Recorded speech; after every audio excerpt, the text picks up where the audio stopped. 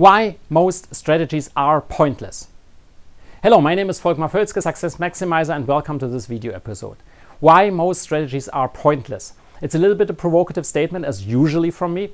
And wh what I see as strategies from companies, business, because that's one of my key core um, uh, areas where I'm going in with companies, uh, strategy, consulting, and helping them with strategies and implementation, is uh, that most strategies that I see are sort of pointless. Of course, it's very provocative, at least not as useful as they should be. what do I mean by this?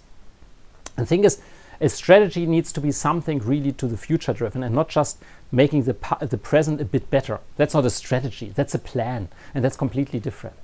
And uh, a strategy needs, needs three basic ingredients that I hardly see to this extent in any strategy.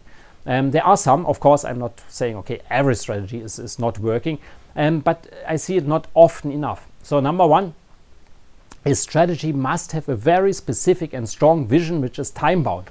By the end of the decade, we send somebody to the moon and bring him safe, safely back to the earth, or something like that. John F. Kennedy in 61. That is specifically a vision. That's where you want to be. In three years from now, we have we are number one in the market and are the most attractive company to talent in our industry. I'm making it now spontaneously. That would be something like a strong vision statement. And uh, it must be that specific and very ambitious. Otherwise, you don't need a strategy. You need a strategy to get somewhere where you are not today and where you cannot just go with the same means as today. You need to invent something new. Whatever it is, business models, products, you need to get new employees, a new team, whatever. Right? And, and this is very, very important. The one thing, if that's missing, you don't have a strategy. It's, it's not a strategy, it's a plan. Number two, you need to say who we want to become. So the self-image. So what is, who is it that will drive this future business? Is it the same or is it another one? Is it another um, uh, mindset that we need to have? M maybe new behaviors that we need to have? How do we need to be developed? So we need to become somebody else, even as a team or a company. Our self-image is developing. Very important aspect, um, hardly addressed by any strategy, but for me very important. So what kind of team are we in the future? What kind of, of employees and what time, kind of leadership do we have in the future?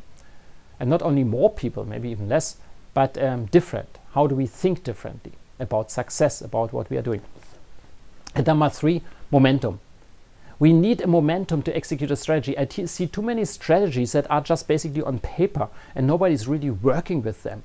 A strategy needs momentum for execution, otherwise, it's not a strategy. When you say, okay, this is our vision, this is how we need to develop to become, to become these, this team that is uh, um, um, materializing this vision, and now let's get started.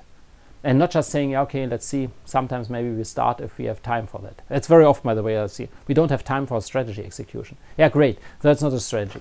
I think these topics might be obvious, but for many, I think they are not. So if you don't have a strong vision, if you don't have a strong definition of who you need to become, and if you don't have really strong execution, it's not a strategy. It's not worth talking about. It's a plan, which might be useful sometimes. Yeah, I'm not denying this, but it's not a strategy that we need for really developing the business. I hope that helps. A bit provocation for um, this time, and I'm seeing you. I'm looking forward to seeing you in the next video again. And until then, each day, drive your success with passion.